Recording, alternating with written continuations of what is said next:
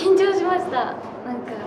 いや今までこう弟とかとキャッチボールとかはしてたんですけどもうなんか違う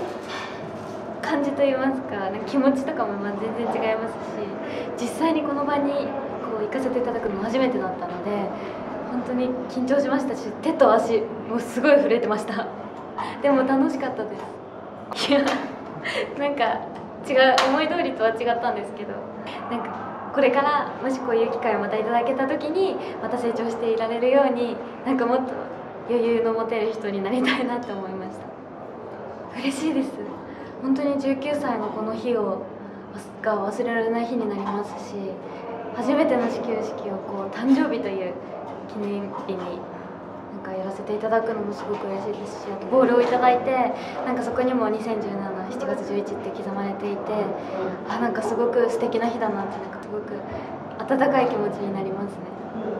はいえっと映画「心が叫びたがってるんだ」の公開日なんですけどなんか今回はこうや私が演じた2頭夏希という役で今日はやらせていただいたんですけど夏希という字もここに書かれていてここ酒がたくさんの人に届きますようにって思ってあの挑んだので